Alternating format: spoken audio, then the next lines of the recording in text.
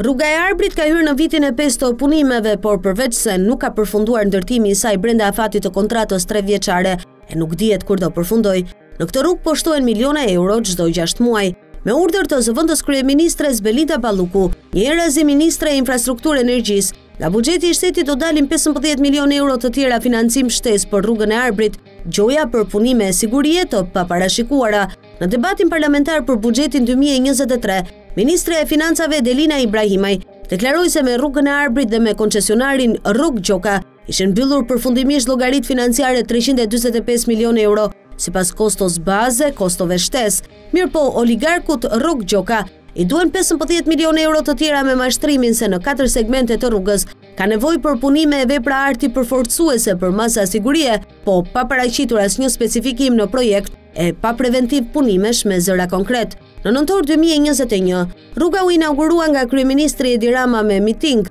Këngë valle dhe grupe folklorike fëmijësh të nxjerrë në të ftohtë për t'u dhënë lule e recituar vjersha udhëheqësve, paçka se nuk ishte përfunduar as 60% e rrugës si projekt teknik e tunele, ndërsa 18 kilometër ishin pa filluar. Ministrja Balluku tha se rruga do përfundonte brenda muajit prill 2022, por firma ndërtuese Gjoka Konstruksion nuk po jep sinjal përfundimi as për muajin prill 2024, ndërkohë që Babloku e Balluku Vazhdojnë i shtojnë miliona euro Rrokut. Ka zëra se këto 15 milion euro shtesë tek rruga e Arbrit do jenë fondi i PS-së për zgjedhjet e 14 majit, sepse nuk është rastësi që sa herë ka zgjedhje, tek rruga e Arbrit dalin befasisht punime të paparashikuara ose shembje tunelesh e skarpatash, Siç u shtuan njëzet e pesë milionë euro para zgjedhjeve të njëzet e pesë prillit dy mijë e njëzet e një për gjoja shembjen e dytë të tunelit të Murrizit, si dhe njëzet e dy milionë euro shtesë tek rruga Kardhiq-Delvinë, që e ka po Rrok Gjoka. Sipas kontratës, kostoja e rrugës së Arbrit ishte dyqind e dyzet e nëntë milionë euro pa TVSH,